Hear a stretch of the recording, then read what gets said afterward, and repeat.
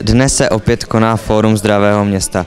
Jako největší skupina letos přišla skupina mladých. Co vás k tomu vedlo? Vedlo mě k tomu um, podpořit skatepark a hlasovat pro skatepark. Jak často navštěvuješ skatepark? Naštěvuju ho každý den, co se dá, když je pěkně.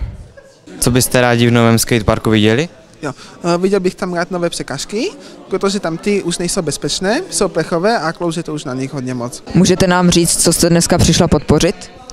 Tak já asi nejen za sebe, ale i za širokou veřejnost bych ráda podpořila rozvoj sportovního areálu. Eh, Středisko volného času Vítko vytvořilo eh, koncepci rozvoje sportovního areálu, kterou budeme předkládat zastupitelům a byli bychom rádi, kdyby celý sportovní areál přešel revitalizaci. To znamená nejenom stadion samotný, ale i zázemí skateparku, kluziště, minigolfu, tenisu, prostě všechny zázemí Hlavně zdravotnictví, protože nemáme zubaře, odborné lékaře a potom pro důchodce, aby měli místnost nějakou na sebevzdělávání ještě nebo na kulturu. To jsou takové hlavní dva body. Co je pro vás největší prioritou, pane starosto, vybudovat ve Vítkově?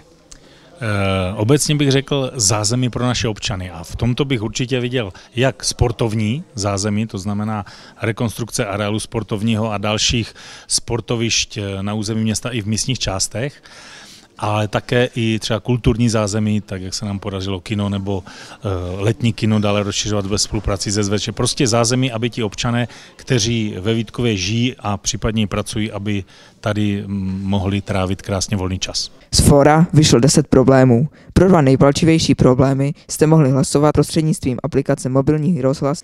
Po ukončení hlasování byly výsledky zveřejněny na stránkách města Vítkov. A víte, jaké jsou výsledky ankety? Ne? My ano. První místo se 161 hlasy získal nedostatek odborných lékařů. Druhé místo s 94 hlasy získal skatepark. A třetí místo s 65 hlasy získalo vytvoření nových parkovacích míst.